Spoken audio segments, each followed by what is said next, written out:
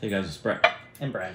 We're here with a review of strawberries and cream Dr. Pepper. We finally found it. Been looking forever. Couldn't find it anywhere. Finally found it at a new gas station by our house. They finally have it. Finally. So we're gonna try it out. Pour some in here.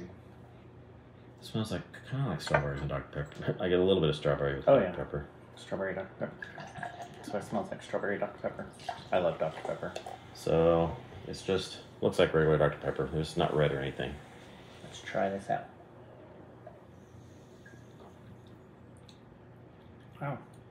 It's actually really good. You can taste the cream, the strawberry, and the Dr. Pepper. Yeah, you can. That's really good. It was really good. I was unsure about it, but it actually goes well with the Dr. Pepper. It does. It's I love not- it. It don't. It, it just mixes well with it. I think it's good. Nine out of ten.